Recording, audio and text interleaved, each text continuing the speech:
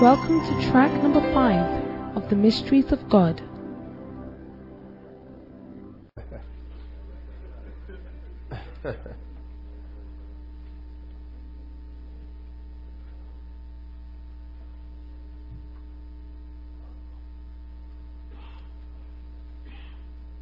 Now,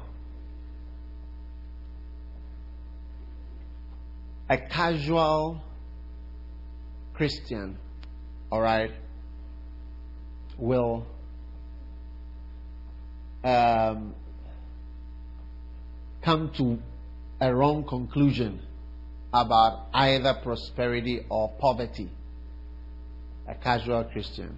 You will by all means come to a wrong conclusion if you are casual in your approach to prosperity and, if you like, poverty, the opposite of prosperity. Where's Amma? She all right? She gone into labor or something?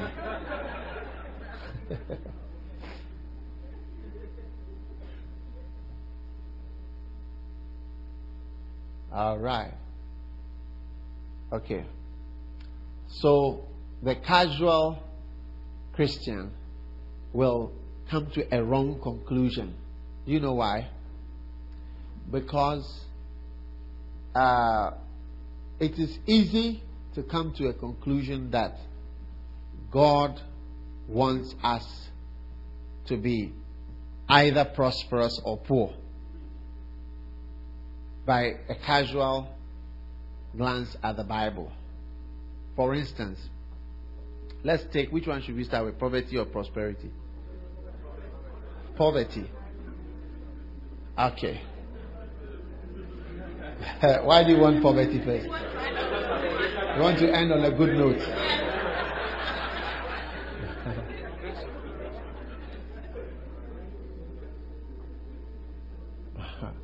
okay. I mean, we don't even have to read. I'll read one verse at the end of this mystery. But, and that is in, in Philippians. But, I mean, you don't have to read, you know them.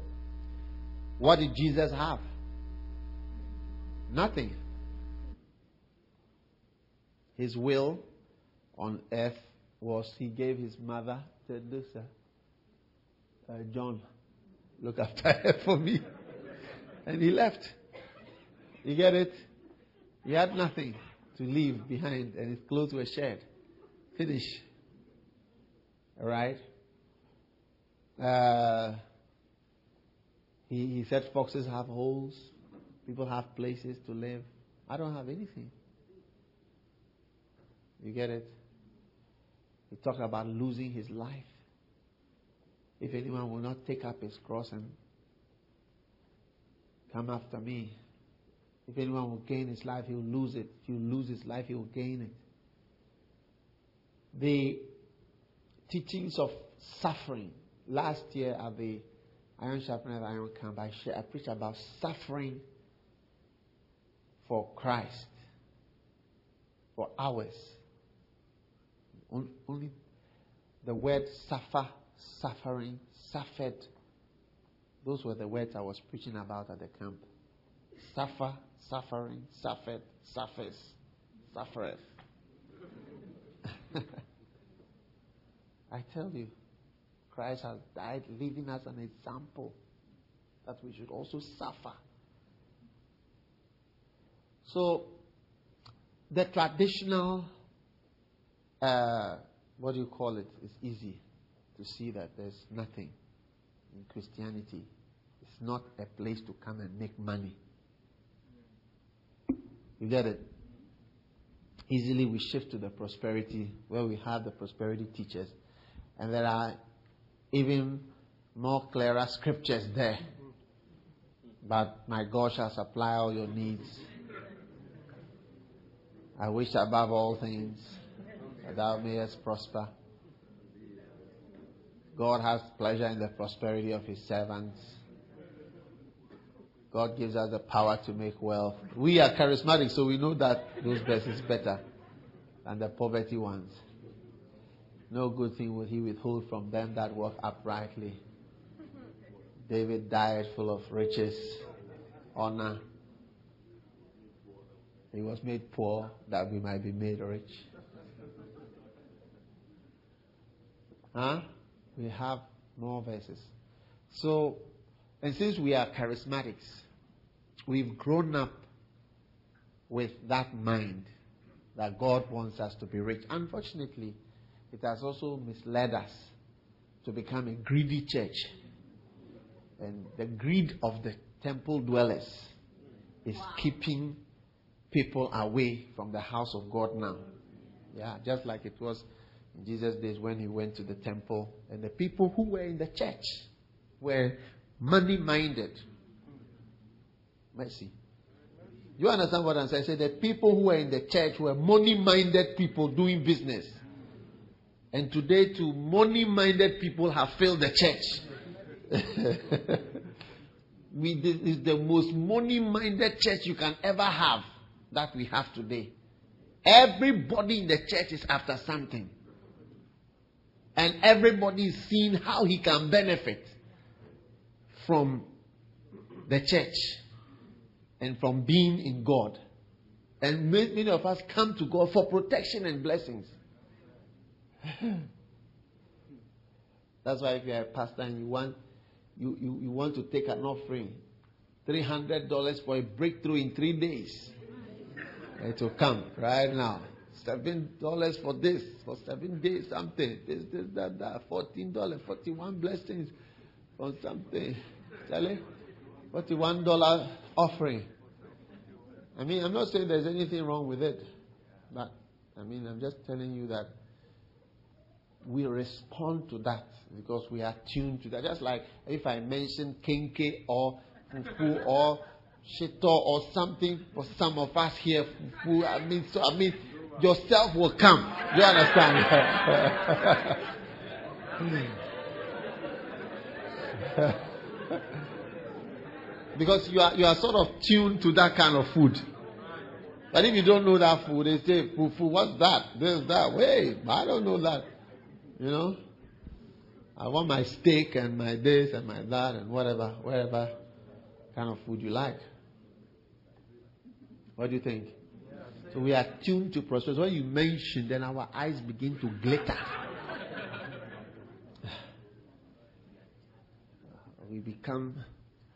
You understand when I say yourself comes? Uh, yourself, the you yourself, actually come forth.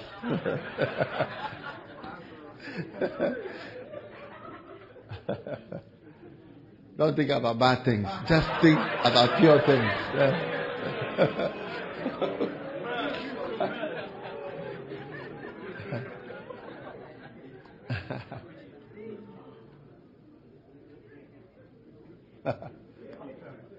Zimbo.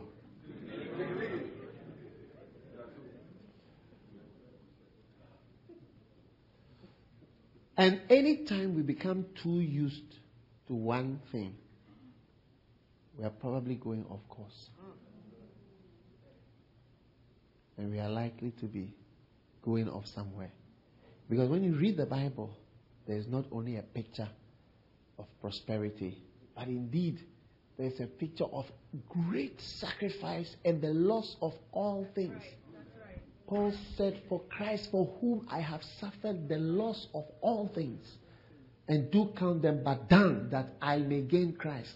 If you don't know, I am telling you, he lost everything for this Christ whom we are all following. And ye, we, if we were writing that, we said, Christ, for whom I have gained all things. Through whom I have gained all things. We are almost the opposite of Paul.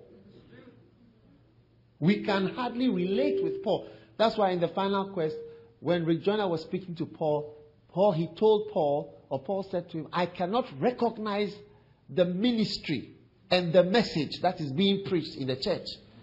He says, apart from a few spots in the world, we cannot recognize what they are talking about. Yeah. You come to a church and you, we are more, we are like, we are like a bank, banks, having a seminar.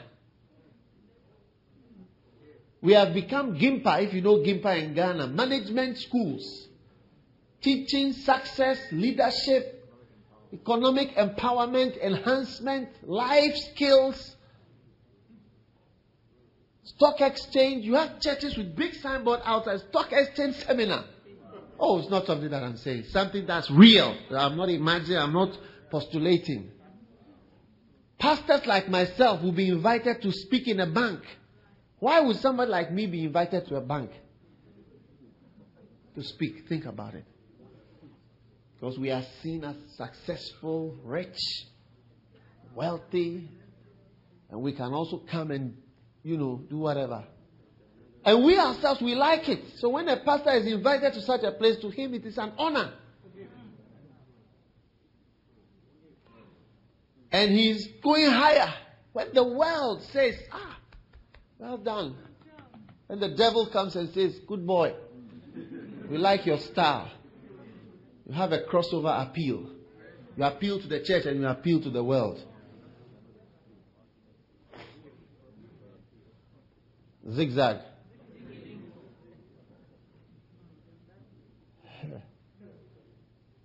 And so, mysteriously, we lose contact with God because we have come, become focused on something, and are possessed with a mind about something that God must do. This is the will of God. God's will is mysterious. If you follow Him, I can't even say for you how your life will be. It's a mysterious thing. Whether He will want you to be rich or whether He will want you to be poor. I mean, at first we used to say everybody will be rich. Eh, you know, do this seven steps. Give this, have a vision. This is step one, have a vision. Step two, have a goal. Number three, take steps to accomplish your goal. Number four, give. Number five, this. Number six, we had them. Please, we have more steps. If you need steps, see me after church. I'll give you a step.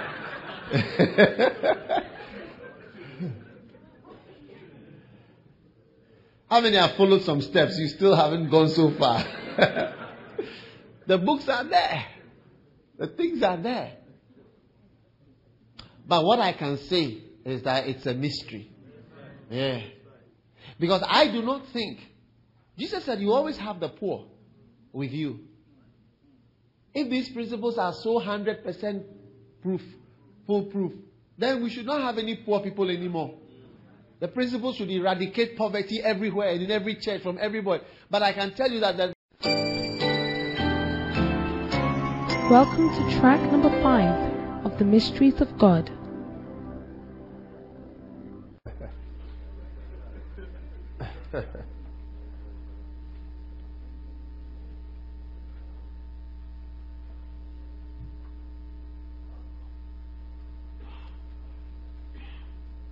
now,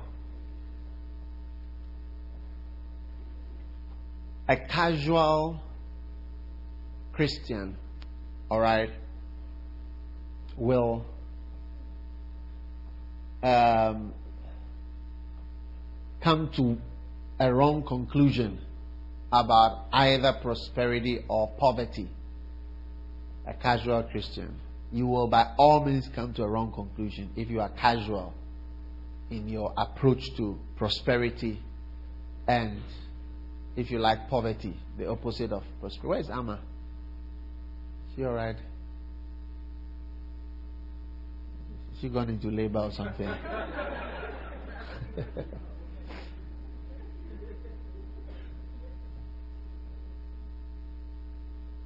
All right. Okay. So the casual Christian will come to a wrong conclusion. You know why? Because uh, it is easy to come to a conclusion that God wants us to be either prosperous or poor by a casual glance at the Bible. For instance, let's take which one should we start with poverty or prosperity? Poverty. Okay. Why do you want poverty first? I want to end on a good note.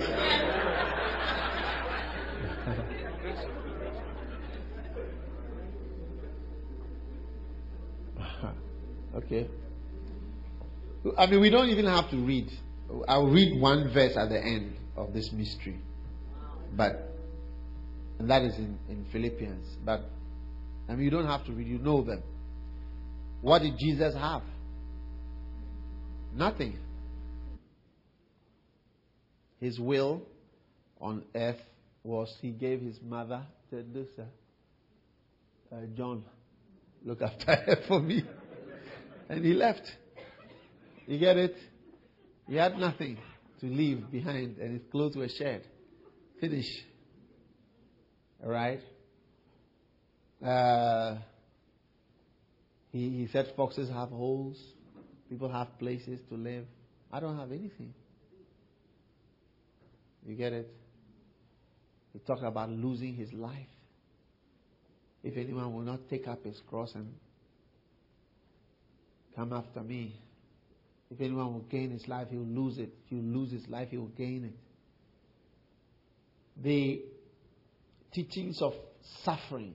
Last year at the Iron Sharpener Iron Camp, I, share, I preached about suffering for Christ for hours. Only the word suffer, suffering, suffered. Those were the words I was preaching about at the camp. Suffer, suffering, suffered, suffers, suffereth. I tell you, Christ has died, leaving us an example that we should also suffer. So, the traditional uh, what do you call it? It's easy to see that there's nothing in Christianity. It's not a place to come and make money. You get it?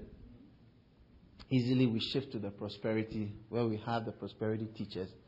And there are even more clearer scriptures there. But my God shall supply all your needs. I wish above all things that thou mayest prosper. God has pleasure in the prosperity of his servants. God gives us the power to make wealth. We are charismatic, so we know that those verses better than the poverty ones. No good thing will he withhold from them that walk uprightly. David died full of riches, honor. He was made poor that we might be made rich. Huh? We have more verses. So, and since we are charismatics, we've grown up with that mind that God wants us to be rich. Unfortunately, it has also misled us to become a greedy church. And the greed of the temple dwellers is keeping people away from the house of God now. Yeah, just like it was in Jesus' days when he went to the temple, and the people who were in the church were money minded. Mercy. You understand what I'm saying? I said the people who were in the church were money minded people doing business. And today, too, money minded people have filled the church. we, this is the most money minded church you can ever have that we have today. Everybody in the church is after something. And everybody is seeing how he can benefit from the church and from being in God. And many of us come to God for protection and blessings. That's why if you're a pastor and you want you, you, you want to take an offering, three hundred dollars for a breakthrough in three days. It will come right now. Seven dollars for this, for seven days, something. This, this, that, that. Fourteen dollars, forty-one blessings for something. Charlie, forty-one dollar offering. I mean, I'm not saying there's anything wrong with it, but I mean, I'm just telling you that we respond to that because we are tuned to that. Just like if I mention kenkey or fufu or shito or something for some of us here, fufu. I mean, so I mean, yourself will come. You understand?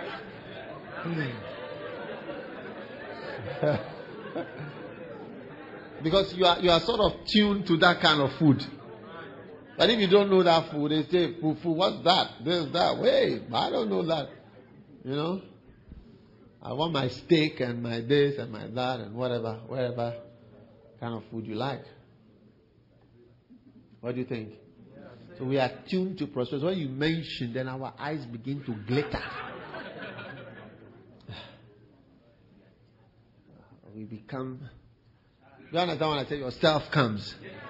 Yourself, the you yourself, actually come forth.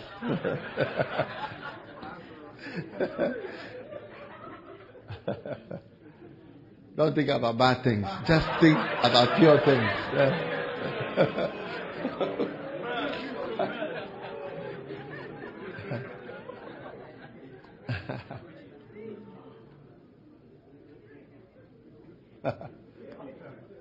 Zimbo.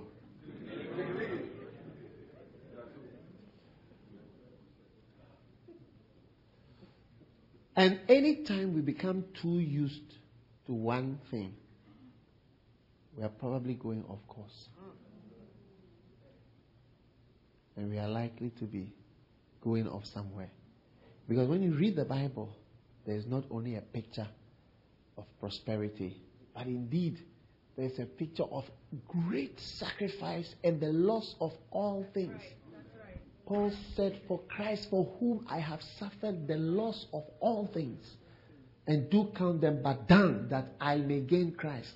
If you don't know, I am telling you, he lost everything for this Christ whom we are all following. And ye, we, if we were writing that, we said, Christ for whom I have gained all things. Through whom I have gained all things. We are almost the opposite of Paul. We can hardly relate with Paul. That's why in the final quest, when Rick was speaking to Paul, Paul, he told Paul, or Paul said to him, I cannot recognize the ministry and the message that is being preached in the church. He says, apart from a few spots in the world, we cannot recognize what they are talking about. Yeah. You come to a church and you, we are more, we are like, we are like a bank, banks, having a seminar. We have become Gimpa, if you know Gimpa in Ghana, management schools, teaching success, leadership, economic empowerment, enhancement, life skills, stock exchange. You have churches with big signboard outside, stock exchange seminar. Oh, it's not something that I'm saying. Something that's real. I'm not imagining, I'm not postulating. Pastors like myself will be invited to speak in a bank. Why would somebody like me be invited to a bank to speak? Think about it. Because we are seen as successful, rich, wealthy, and we can also come and, you know, do whatever. And we ourselves, we like it. So when a pastor is invited to such a place, to him it is an honor. And he's going higher. When the world says, ah, well done. And the devil comes and says, good boy, we like your style. You have a crossover appeal. You appeal to the church and you appeal to the world. Zigzag.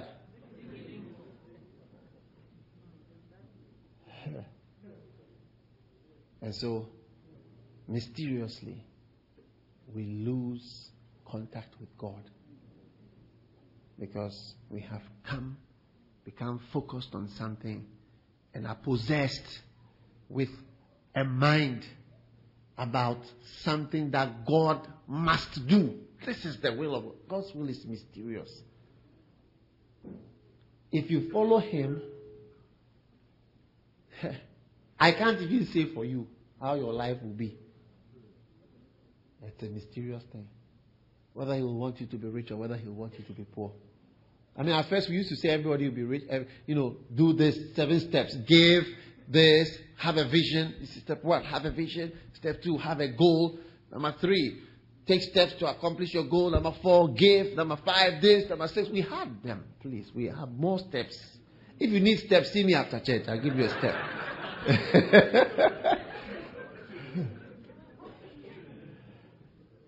How many have followed some steps? You still haven't gone so far.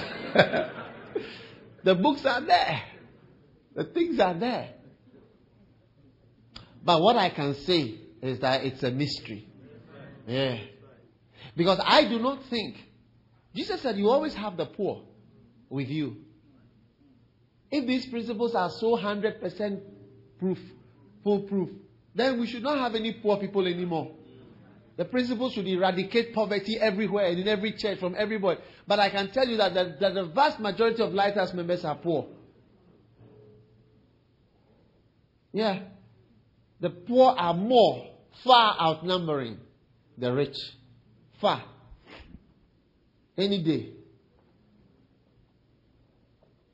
You have some people that make you look as if they, well, most, even us here, most of us don't have anything. It's true. A few people have some, but most of us don't have anything. Not that I've seen it, but I know. oh. Oh, you don't understand what I'm saying? Is what I'm saying true or is not true? Yeah. You're in America, but you don't have anything. It's like diabetes. Diabetes is starvation in the midst of plenty. The blood is full of sugar moving around, but it does not enter the cells. So you die of a lack of sugar. You understand? Because what will move the sugar from the blood into the cells which need the sugar is not there. So that's why we call it starvation in the midst of plenty. And that's how many of us are. The thing is swimming around. Swimming around. The gold, you can see them. And our mouths are watering. Lord. But the insulin, that will bring it in.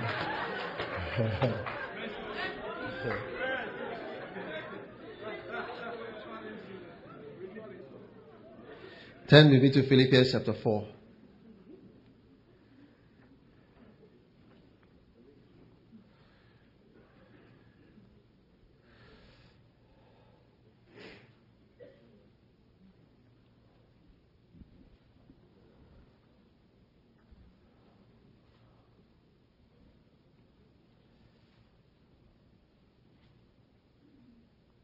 Verse 9. Those things which you have heard, learned, received in me do, and the God of peace shall be with you. Amen. But I rejoice in the Lord greatly, and now that at last your care of me hath flourished again, wherein you were also careful. But that, not that you were careful, but you lacked opportunity. Okay? Not that I speak in respect of want. For I have learned in whatever state I am therewith to be content. I know both how to be abased and I know how to abound. Everywhere and in all things, I am instructed both to be full and to be hungry, both to abound and to suffer need. I can do all things through Christ, which strengtheneth me. Notice verse 12. Paul says, I know how to do it. This, look at me, everybody. In this verse, he's saying two things. Both I know how and then I am instructed. One, he's saying, I have been told to do this. And in the other verse, and in the first part, he's saying, I know how to do what I've been told to do. You understand? In other words, the first part is, I know how to do what I've been told to do. And another one is, I've been told to do this. So he's told to do A and B. And then he says, I know how to do A and B. How many understand what I'm saying? If you understand, give me a wave. You didn't get it. Somebody didn't get it. Is there anybody who didn't get it? Maybe you weren't listening. I can say it again, but I, I don't mind. Is there anyone? I I know how to do. It's like do general math and add math. I know how to do it, and I've been instructed to do add math and general maths okay, or physics and chemistry. And I know how to do physics and chemistry, and I've been asked to do it anyway. You get it? Uh-huh. Now, what are the two things he's been asked to do? One is he has been asked to abound. Or he says he knows how to abound And then how to be, I mean, how to be a poor man. Then what is the two instructions that he said? He's been asked to do what?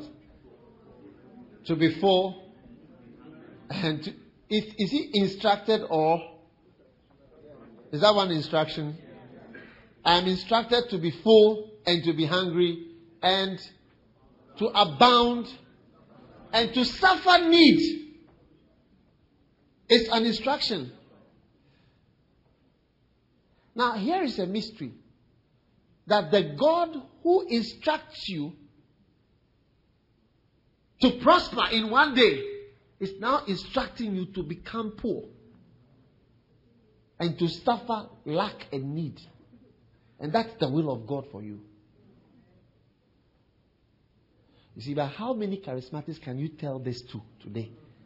How many of you can I speak to and say, This is your future here. Come from here and go to Asamankese or go to uh, Dawadawa number one, which comes after, uh, be- before you get to uh, Tamale. How many of you? I had two gentlemen. You see, and that's what I'm saying. That's one of the things that we lack here in this church.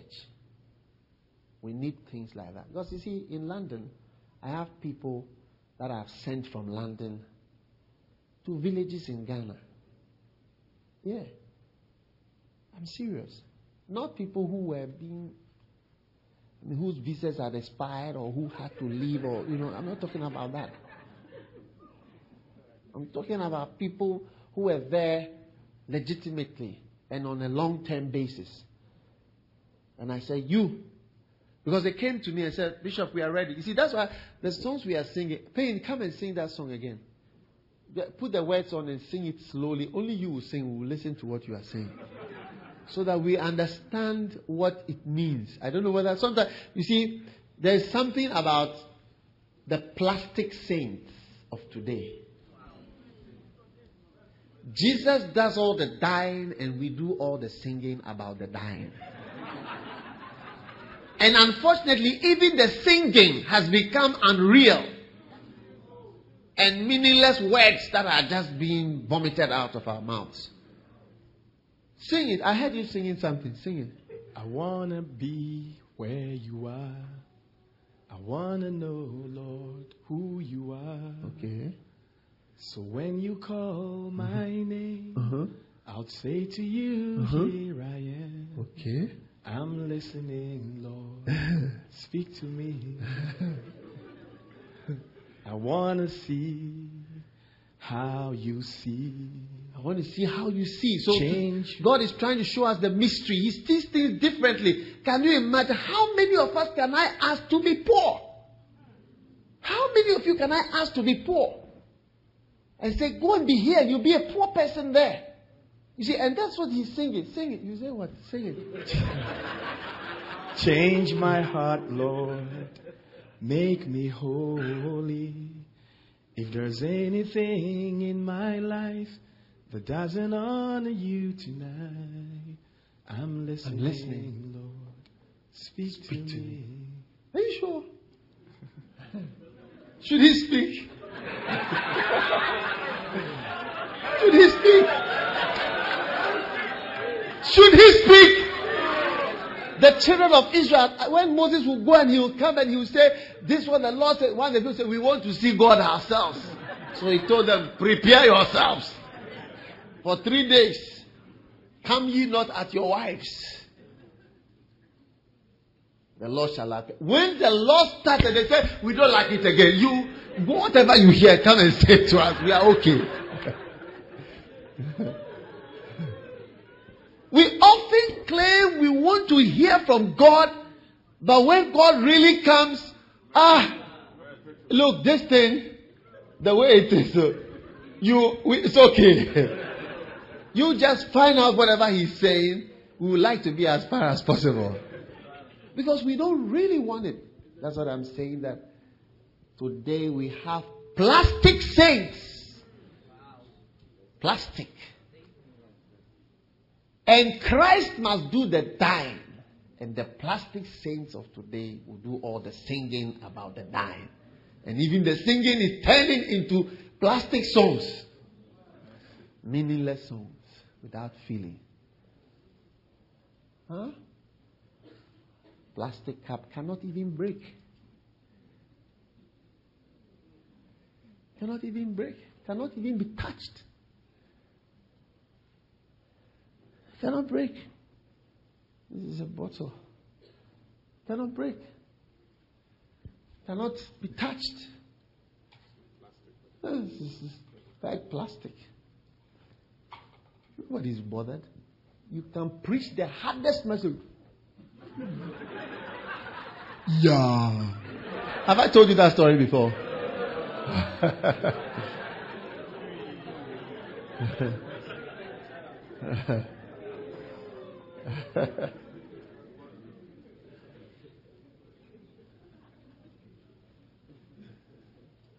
this guy who said when he gets to heaven and he sees Peter at the gate, and Peter says he should go to hell, he will say, Yeah, I will go.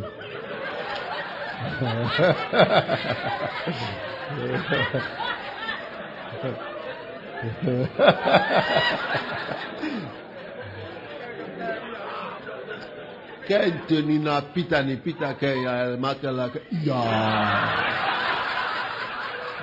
Bomo ya ya. That means you rather go to her. I am not going to. If you want to go, go to her. I am not going to her.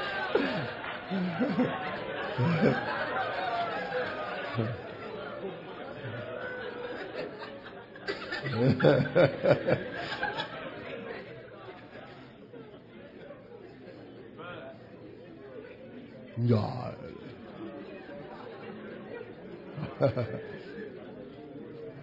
you rather go to hell. I'm not going to hell.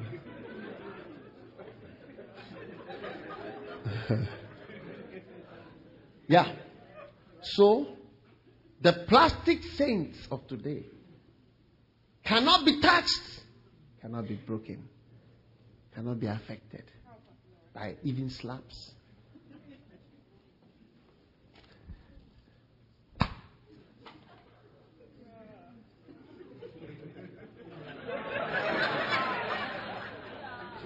Changing.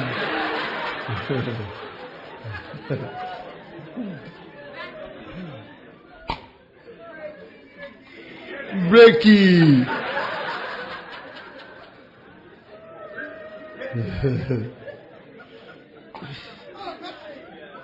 no change. That's the plastic saints of today. That's the church. Yeah. That's why sometimes, even in Accra, I prefer to preach outside to unbelievers. I was telling my church, said, Christmas Day, I went to the prison. 26th Sunday, I said, Oh, let me go to the prison. I was so happy in the prayer. I went to the female prison, condemned cells and other cells. I went to preach there. Oh, see them clap it, thinking, preach, preach to them. Oh. Went to their room. One was lady, she had given birth to twins. Hmm. These are the people that Christ died for. You see the plastic saints of the church their prosperity and shiny cars. You see, when I talk like that, I'm not against those things. So I'm saying it to, you see, because we are so plastic. I need to even, even the, I knock it hard, right? It doesn't change anything. But we are so, we are so rich because we feel we found the will of God. You haven't found nothing. His will is mysterious. God can wake up and tell you to give everything away. Oh. Have you forgotten the young ruler who came to Jesus? And he said, Lord, what should I do to go to heaven? And what did the Lord say? Go and sell. Sell. Sell. But today's pastor would have said, uh, Peter, will you come here right now, Peter? Remember, originally I told you that we were going to be 12 disciples. Uh, there has been a change. I've seen a 13th apostle now.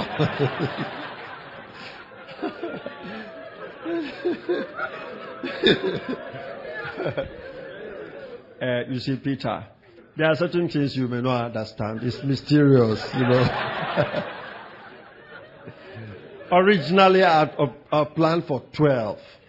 But uh, you see, finance are very important in the ministry. And uh, this uh, man who has come to the church is very important for our future, especially to finance the crusades in Galilee and Capernaum and other places that we'll be going to very soon.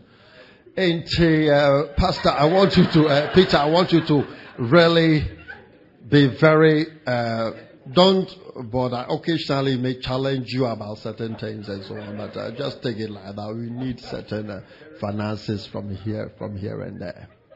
Yeah, today's church. Am I, am I lying?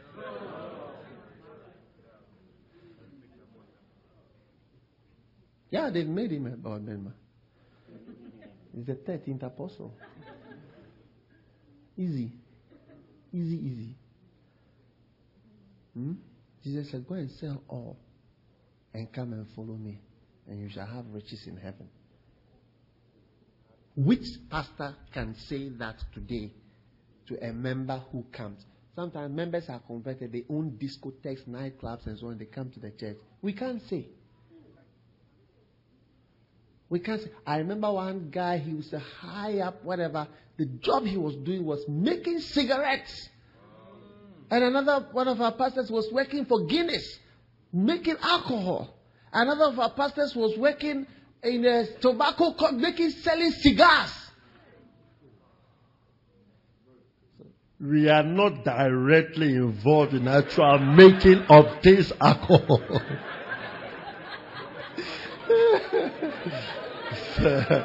administrative jobs and other things that, you know, coming from time to time.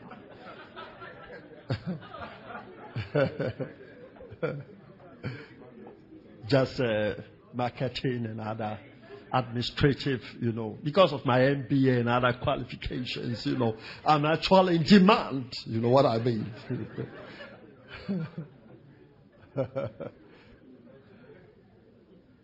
no, we wouldn't change it.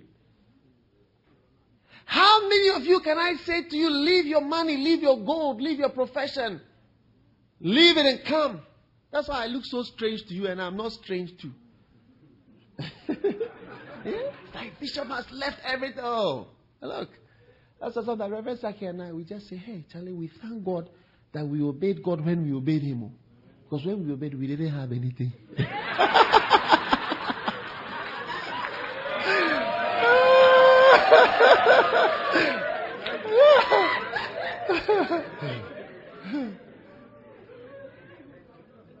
we had the potential, but we didn't have anything. And with that potential, at least we gave up the potential. Yeah? We gave up the potential. And you don't know what that means. God knows. We see, we see it in heaven. Yeah, it's mysterious.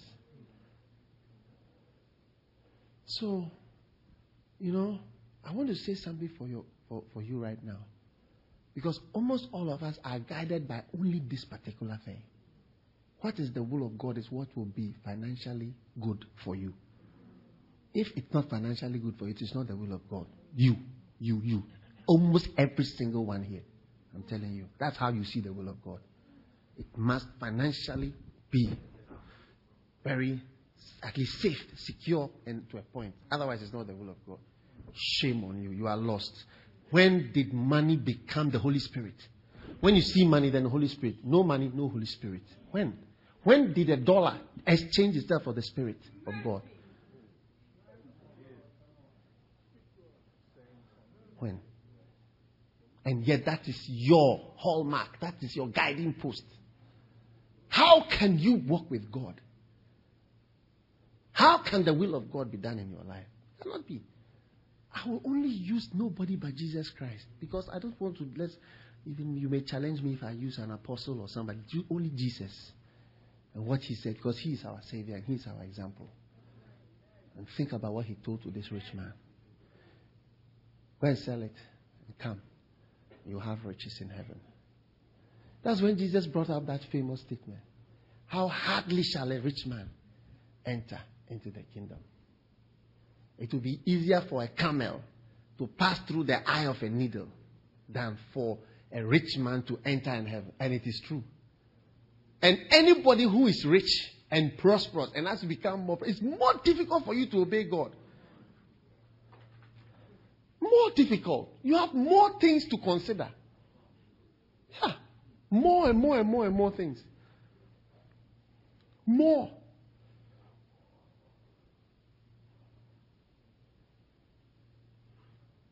Our Holy Spirit has been replaced by dollar. Somebody give me a dollar or anything you have.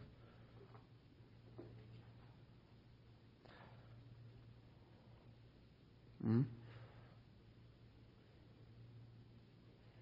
You don't have a new one. Mine is old. I like new ones. Somebody give me a new.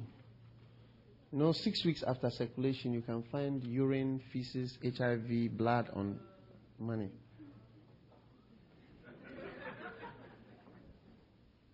This is the Holy Spirit. This is the Holy Spirit. For almost the whole church, this is the Holy Spirit. When He says go, you, you move. And you move fast. Wow. Look at it. Look at your master.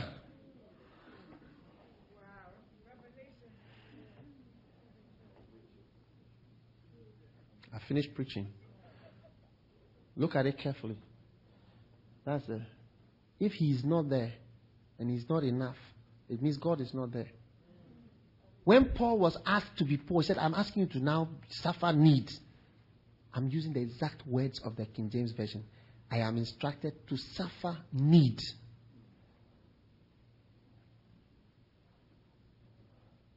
You can't send them. You can't say go, but they have too much or potential for that. Huh? What do you think? Easy. Easy, easy. So, ladies and gentlemen, remember this because after I finish preaching this message, we'll go back to our old lives again. All our lives will be related to dollars, 20, 30, 10, this. That's why when you're even raising funds or asking people to give up, it's so tedious and laborious. You are, people are giving you their gods. Can you take one of my gods, my idols? About 17 idols. Okay, take two. Mm, have one. That's why one, that's one of the reasons of the mysteries of giving. It makes you break the power of the God, Mammon. It's one of the mysteries. We will talk about the mysteries of giving.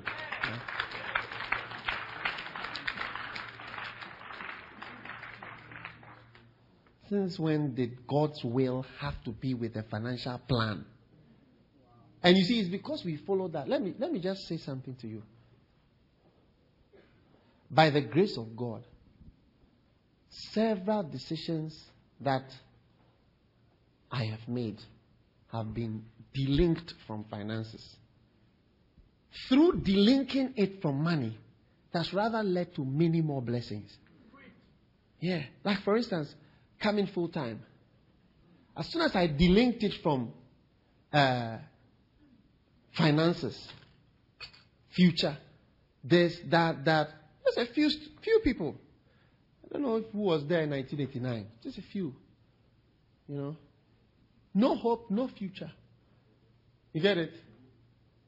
That thing, that decision, has rather released more wealth and blessing because I am not poor. No, no, if you think I'm poor, I, I can tell you that I'm not poor. I don't need your thousand dollars. I don't need your hundred dollars. I don't need anything from you. And I often say this because that, you don't give things to people because they are in need. You understand what I'm saying? Yeah, you have to have you have to grow and have a spiritual reason for giving. Don't give because oh we, we think you know so that we, we pastors will come around, come and make ourselves very poor looking and really sound you know really needy, you know and sound appealing. Like one pastor one day he was preaching and he said, As I'm preaching, I don't even know how I'll go. Oh, I don't have any money. He didn't have any money in his pocket. And you can imagine after church. This was in 1989. People, a lot of people gave him money. Oh, we're not going to do that. Hmm? Are you listening? What was I telling you? I was saying something to you. Delinking money. Delink money from decisions. I took the decision be full time. Delink from prosperity. No prosperity. No. And when you are coming full time, I promise you poverty. Otherwise, don't come. Yeah. And I mean it because I can't guarantee. Because I am not God. The fact that I have been blessed financially, even in the ministry, does not mean you will be blessed financially. Read it. He said, I have instructed you to be poor, to be hungry. So how can I know what you're going to stay to be? Yeah. No, no, it's true. I can't guarantee anybody at all. I don't guarantee you anything. If you don't like it, don't come. It's a mysterious thing. yeah, I cannot guarantee you anybody anything. Easy, easy. I've come into your territory now, isn't it? Dollars.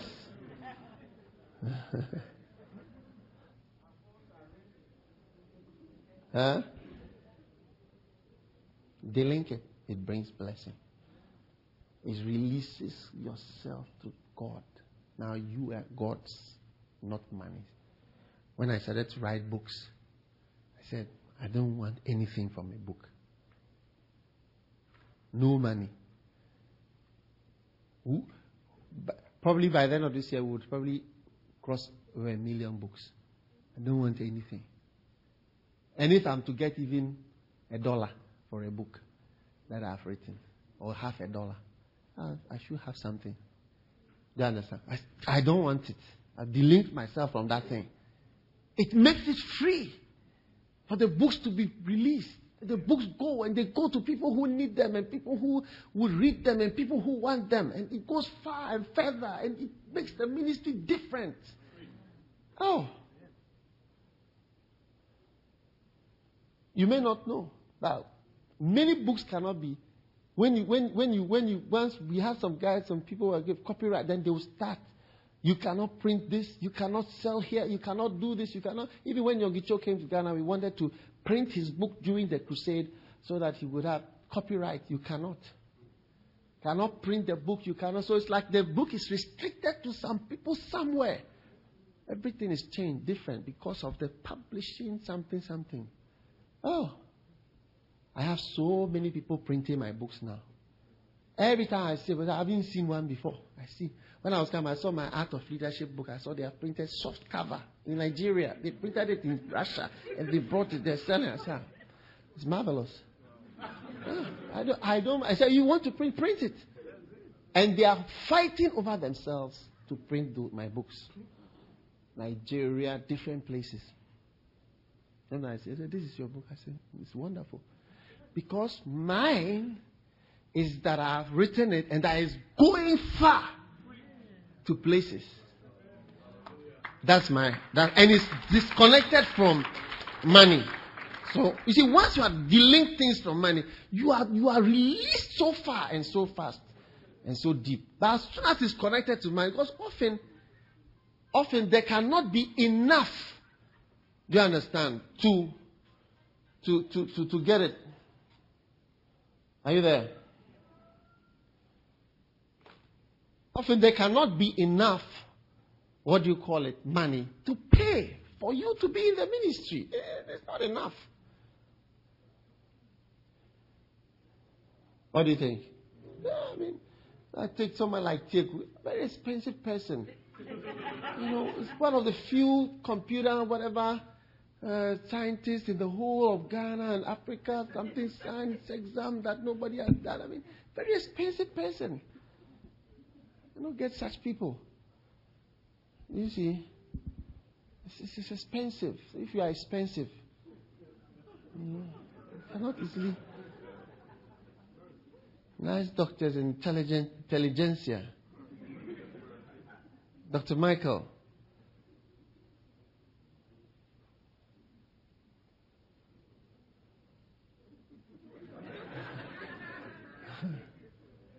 You know yourselves. Clever people, expensive people. Some of us are almost too good for the ministry. No, not almost, we are too good for the ministry. It's true, it's true, it's true. And we are too nice for the ministry and too qualified for the ministry, too blessed for the ministry, too rich for God to use, too much.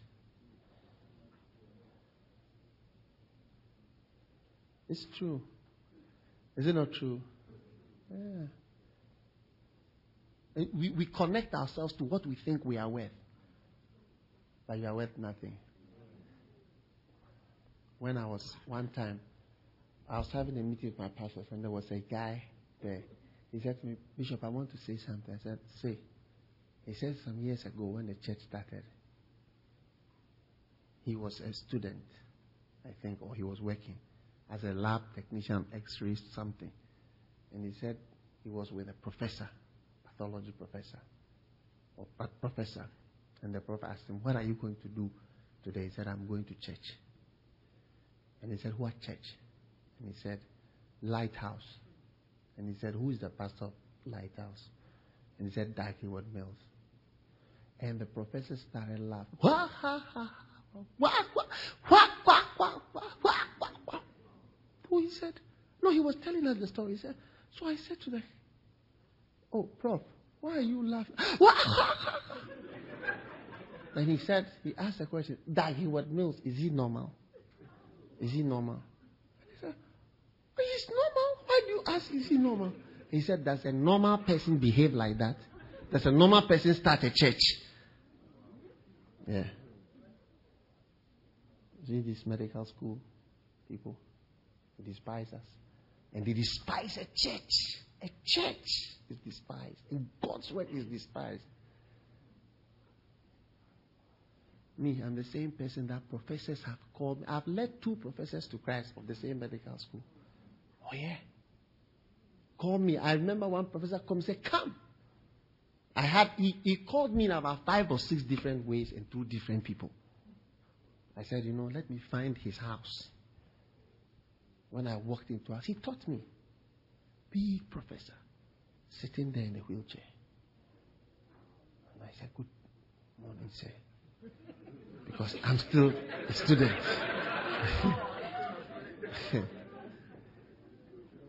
I was trembling. And I sat by him. And I didn't know what to say. So I started to talk. I said, You sent for him? Said, Yes. Talk to him. Do you want to accept Christ?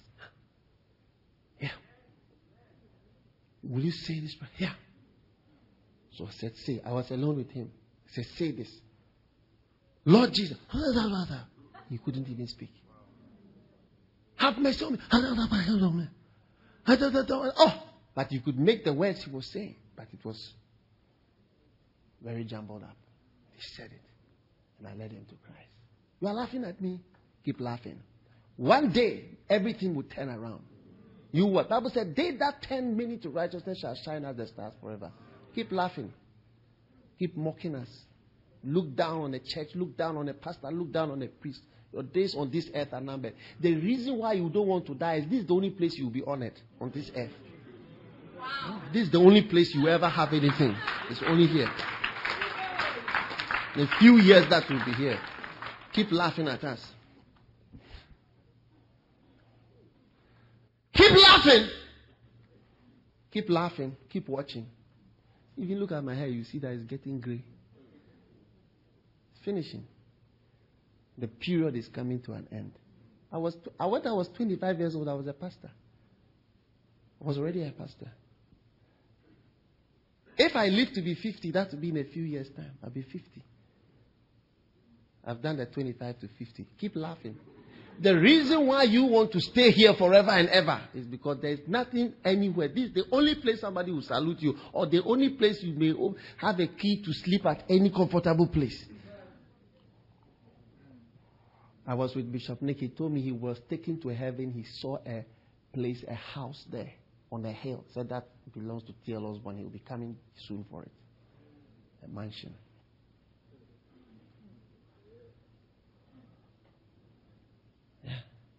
But you see, you are too expensive.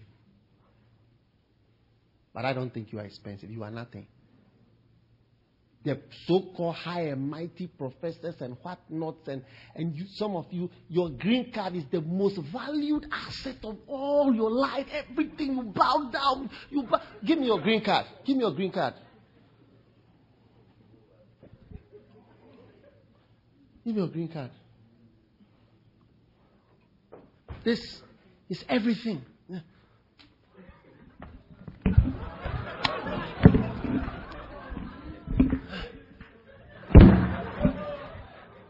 That's it. You're worshiping it. You sacrifice everything for you sleep with people for it. You sleep with people for it.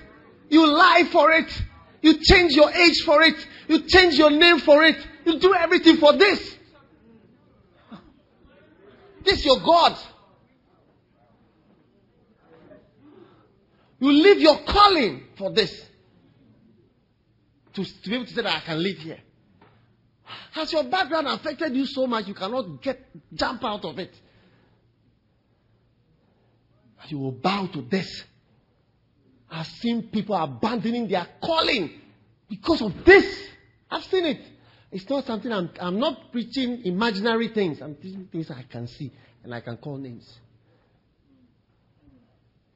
What is this? It's all to you. It's not all to me. It's not all to me. Keep laughing. There's a song. On a hill far away stood an old rugged cross, the emblem of suffering and shame. And I love, no, nobody should sing that old cross, just you can join me. Where the dear, where the what? The dearest and the best. For a world of lost sinners was slain. Where the dearest and the best, the best climbed the cross for me and for you. And you wouldn't climb the cross for him because you are too good for him, too clever, too many degrees, green cards, this, that, marriage, children. The one who climbed the cross for you and I is called the dearest and the best. Oh. People say, how can somebody like, what do you mean by some, what nonsense? Can somebody like you and somebody that who is so this, that, what, what, what, oh, what, Paul said, and for whom I have suffered the loss of all things and do count them but down that I may gain Christ. Some of you have sacrificed God for marriage. And where did it get you? You entered it and you were knocked on your head fully. And you saw that, yes, you have reached nowhere.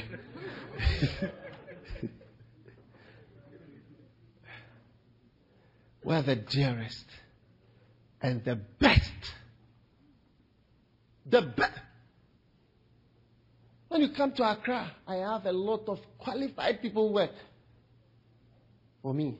Not that I don't use their qualifications, but they want to work for me. Yeah. And I let them work. They're not too good. I had somebody, she was selling books. Her family and other people said, Why should you sell books? I said, ah, That is what I would. I would sit here and sell the books. How can a doctor this? That is what I will do. I will sell it. Now she rather say, okay, now she will stay there. She was not supposed to do that. Now she will hold the book and says, 2,000, 2,000, 2,000. You have despised the work of God and despise it in your heart. Yes, you have despised it. Don't tell me you haven't despised. You should repent. When you hear the preaching, don't be plastic. Say sorry to God. Don't say it's not me. It's you. Who is it? Who am I preaching to? I'm not preaching on a tape. I'm talking to you live. And I'm seeing you. That's why I'm preaching. So you can't think, oh, he saw somebody or he's preaching somebody. We are listening to the tape. So not everything applies to us. No, everything applies to you. we actually despise God, His church, and His work. It's true. That's why pastors are despised, full time pastors are despised. full time ministry is despised.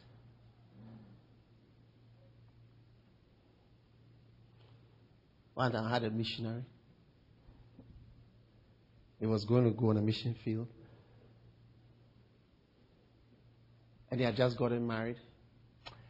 And I just felt in my spirit, I said, No, let me find out something. I, I feel something.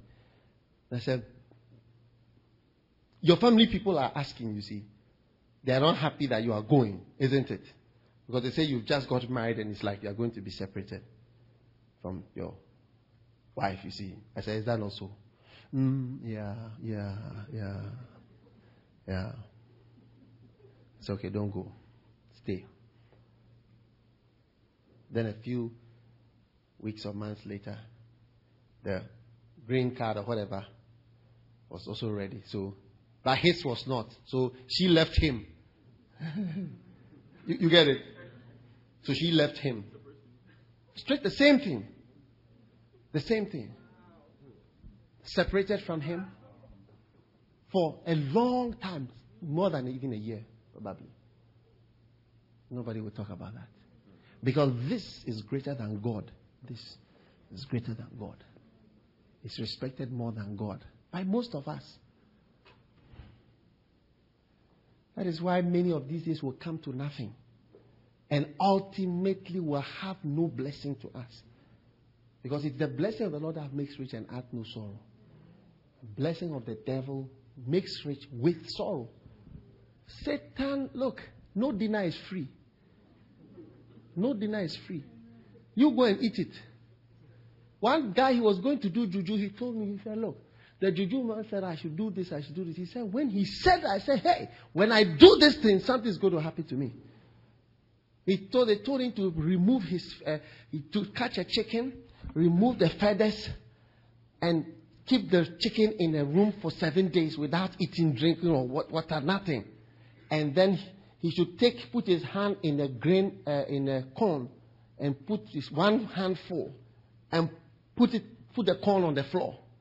And the chicken which has not eaten for seven days, neither drank water, okay, will come out of the room. And after he put the corn here, he set a fire outside. So, when he opens the door, the chicken will come and eat the corn without feathers.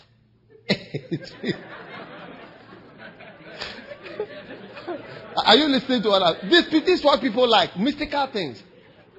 So the chicken which has not eaten for seven days, neither drank water, will come out of the room, eat the, the corn, and then walk into the fire. Grilled chicken. Then after that, then you know what the guy said? They said that you are going to become a millionaire from that. Then, and so he said, what are the other conditions? And then he told them the other conditions the number of grains left on the floor are the number of years left that you will live to enjoy the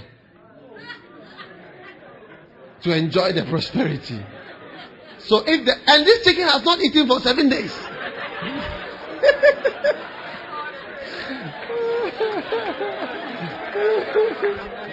and you are supposed to put your hand in just one hand like that. Maybe it's two hands. I don't know. Maybe two hands. The number of corn left is the number of years that you will live to enjoy the, the rest of the prosperity. The devil doesn't have any free blessings.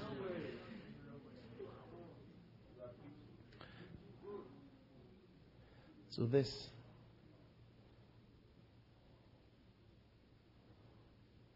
precious. We should say, we shouldn't sing we shouldn't sing, um, what can wash my sins? We should say, what can help my life today? Nothing but the green, green card.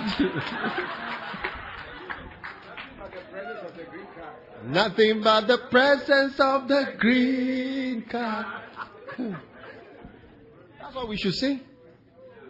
Not, uh, you see, I'm, it's not a bad thing, but you have to look at what you give up for it. And also, if you ask yourself what you will not give up for God and for His work. It's mystical and marvelous. Zigiligi. Amen. What do we give up? What do we die? That's what I'm saying. So I don't want people to tell me I'm doing something too much. And I don't like preaching to people who make me feel like I'm an extremist. That's why I don't go to a lot of places. Uh, when I preach, I feel like it's like I'm saying something too much. I'm too. No, no, I don't like it. you understand what I say? I, because it's not nice to feel odd. I also don't like feeling odd. I don't, I don't like to feel like I'm some wild radical. I am normal. There are a lot of people when I'm among, we are all the same. Nobody feels we don't talk about certain things, sacrifice, or we are happy in Christ. We don't feel that we are extreme or we are something, be too much. No, no, no, no, no.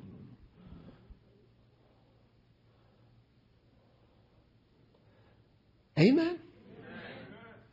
On a hill far away stood an old rugged cross, the emblem of suffering. Hey, as for this, your uh, this uh, what do you call it? It's not a small thing. And I love that old cross where the dearest and best for a world of lost sinners was slain. And I'll cherish the old rugged cross till my trophies at last I lay down. I will cling to the old rugged cross and exchange it someday for a crown. Let's see the next verse. Oh, that old rugged cross so despised. No plastic thing, you know. Just attraction. Does it have a wondrous attraction for you? Or does the green card have a wondrous attraction for you? For the dear Lamb of God left his glory above to bear it to dark Calvary. You see, it says that old rugged cross, so despised by the world, has a wondrous attraction for me. This is what is not in the church. Attraction to what? The cross. What happens at the cross? Suffering, dying, losing, losing, dying. But today's church, take, take, take, give, give, give. Me, me, me. Mine, mine, mine. Take. That's us. Take, take, take, mine, mine, mine, get, get, get, keep.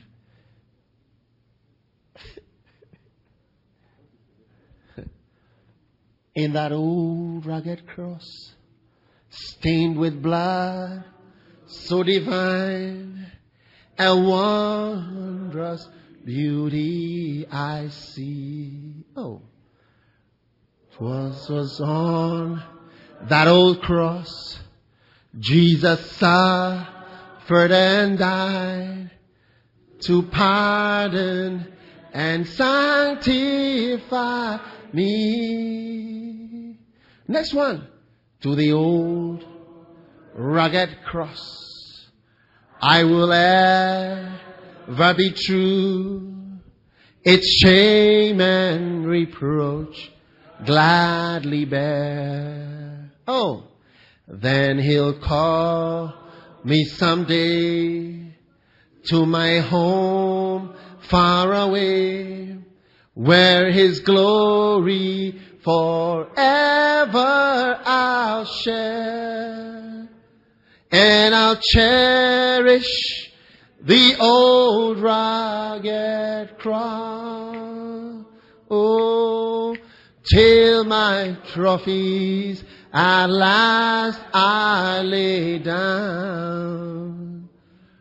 I will cling to the old rugged cross and exchange it someday.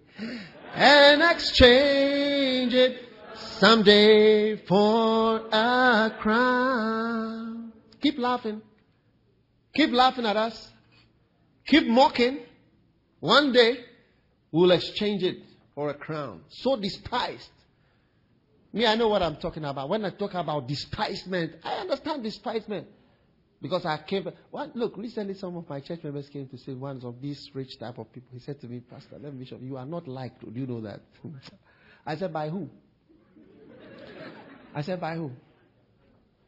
Then he started to say, say, you know, this type of young, yappy type of rich people and so on. Because you see, I come from that group.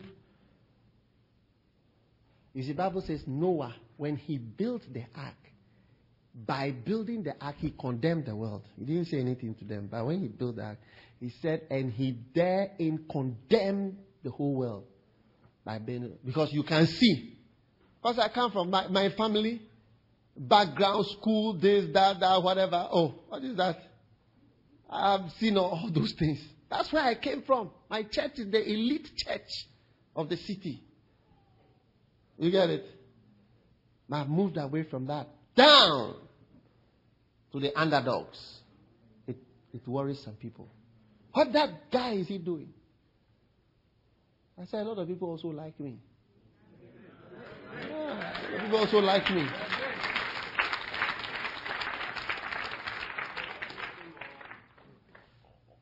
And he was telling me, he was saying, he said to me, we are always defending you. I said, no, keep on defending, brother.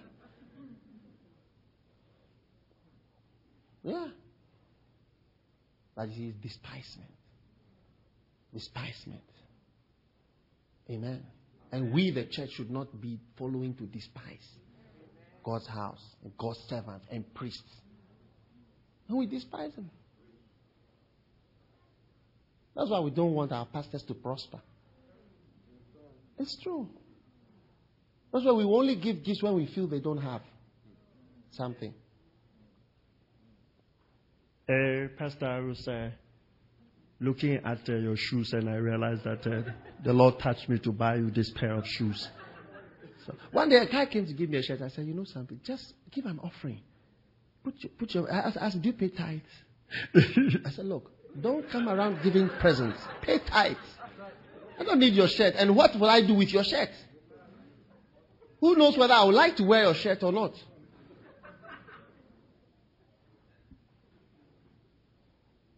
I don't want to, we don't want to do unless, unless somebody comes to make himself beggarly before you. Down! That's the problem of Ghanaian churches. Always fighting pastors and killing them, giving them such heartbroken experiences that they have poured their lives into them. And they will turn around and do all sorts of funny things instead of appreciating it's because of our struggle over the dollar and the green card. You know something? When you come from a background, you try to overcome that background. That's one of the problems we have. I was abused when I was a child, and so what? It's past. You were that was when you were a child. You were abused when you were a child. So mean, why are you still a child? Move on. Are you still a child? Many of us have had bad experiences as, as children uh, whatever, bad a bad boyfriends because I don't want to. Ah, we are tired of all these things.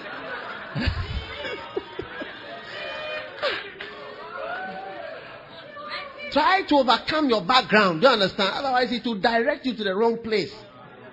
When you come from this background of, I mean, poverty-stricken, dead well countries, let's come out of it.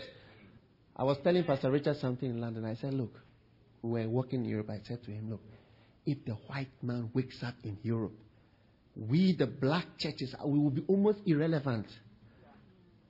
You will see how they will do missions, how they will give, how they sacrifice. Because when they do something and whatever, if it's sex, pornography, they fully. They, when they are doing it gay, they will do it to marriage, to everything, popes, bishops, everything.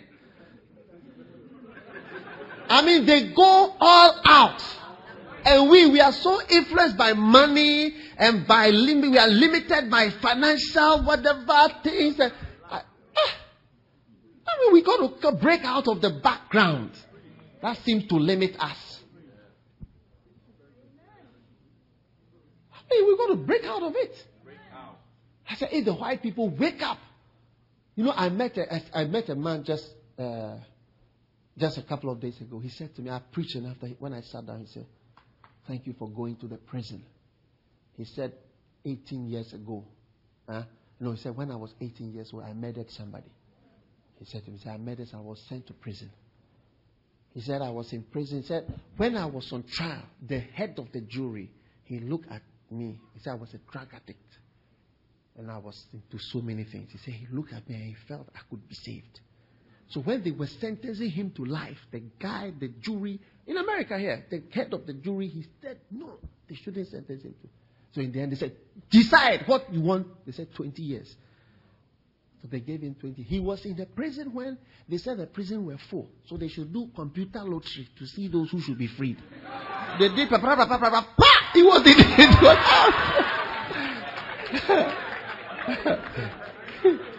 and he said that he was in the prison when he got, even before the trial started, he got saved.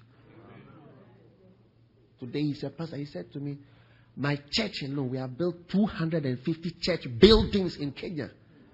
Yeah, 250 church buildings. Our church in America, we built 250 church buildings. He said, apart from that, I, apart from other pastors that are white pastors that I've taken with me to Kenya and taken with me to those other places and shown them that look, come and let's help. Just like how the Saudi Arabians they finance the Islamic building of uh, uh, mosque and so on. Every Ramadan they will be building more and more. I took a mo- picture of a mosque recently. I went to the north. I took a picture of standing by a mosque, small one, small town, small mosque like this. They will build it. Said, we built 250 churches. How many millions? They pay, pay, pay, pay, pay, pay, pay, pay, pay.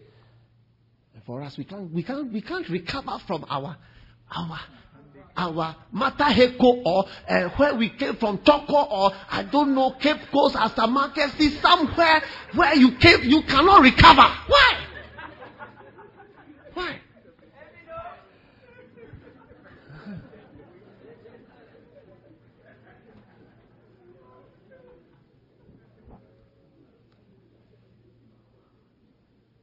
You see, people will come for homecoming and they say, Oh, we now see what our money is being used for. You are insulting us when you tell that. Means that what have we been using the money for? And who said it is your money? We now see what our money is being used for. Indeed, you now see what your money is being for. Nonsense. You don't want to give an offering, don't give. We now know what our money is being used for in the church. That we see that it's being. Go and see people building two. This man, he said, we have built 250 churches, buildings. He's finished them.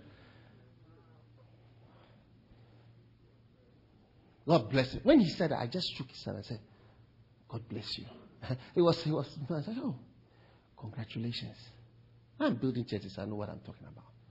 You know how much money alone we've used last year to build church building, to buy land, fighting. I have to employ somebody from the bank to come and fight to get land and to build. So we, we now know what our money is being used for. Indeed. Thank you very much.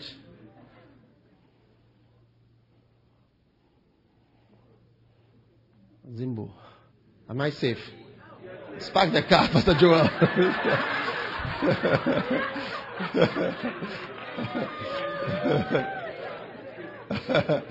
Benjamin Full is here, so.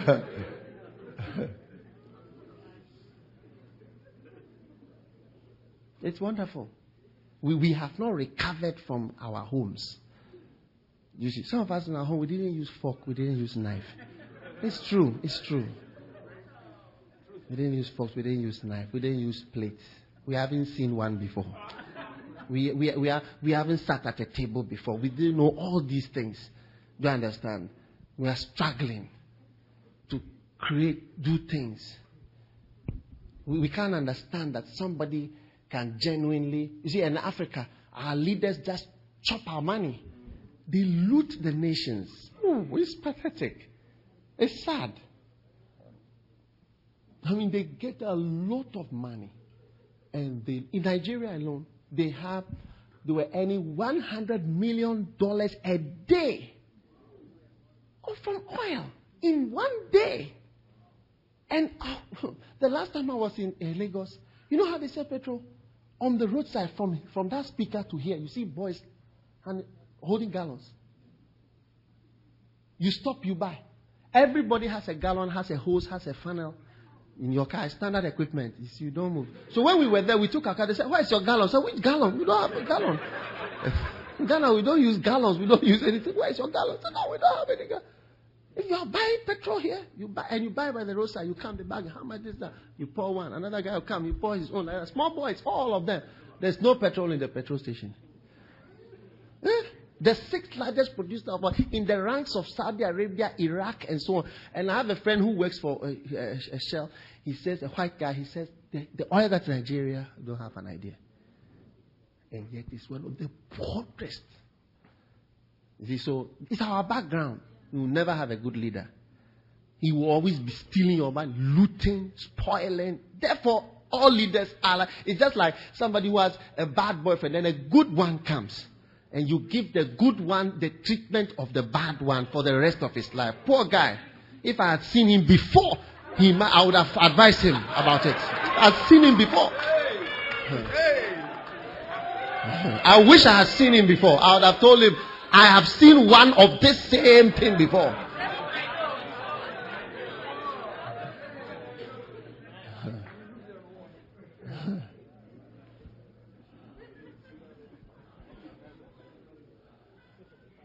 What do you think? Tell her, your, your thing is not a small thing, oh.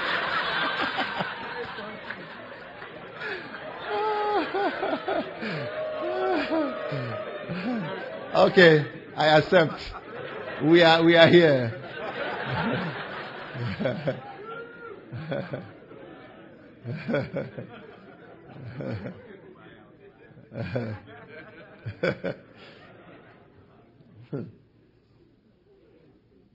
No, we've got to recover. all. So that white pastor, he said to me, 200, and he's not finished. He said, youngest Amink, I said, I'll build 250 church buildings apart from school. This, that's 200. I don't think he has any very big church. And I've mobilized more. But come and see, it's needed in Africa. Yeah. This person, what are you doing?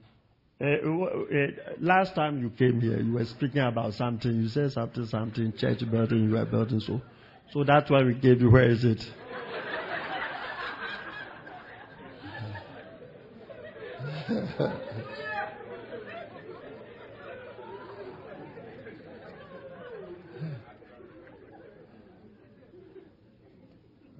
Is it not what we are doing? And you realize because of your first bad boyfriend, the new boyfriend is getting all the bad treatment. You don't mind him, he's very nice, he's faithful, but you're always accusing him. Something. There's that, that, that, that, that, that, that. Always. Mercy. Ziggy Ziggy. Zigzag. Zimbabwe.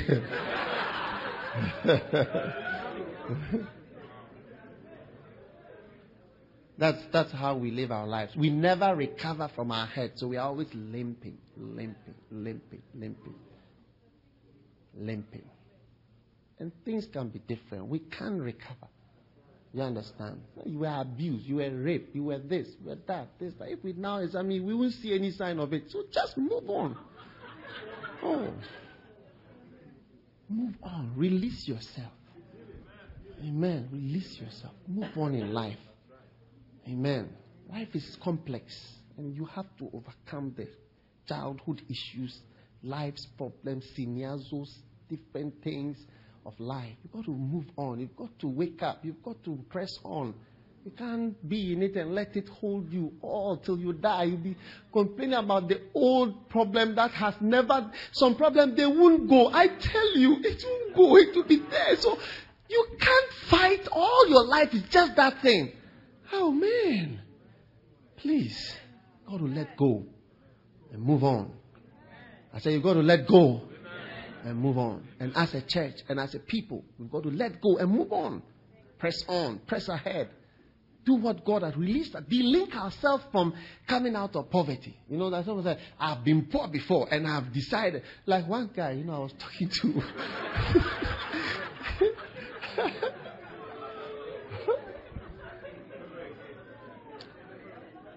I was talking to Bishop Nick and he was telling me about one guy. He said, That boy, when he went, I think he said, when he stepped on the plane and he looked back, he said, I will never return again. and that's how people behave. They say they will never return. They behave differently. You get it? And they have the mind. Something is going to take you away, make you poor. You know? That's why the Bible says, Blessed is your land when your king is the son of princes. It's from a blessed place. It's not so affected by the downside. You understand? Yeah.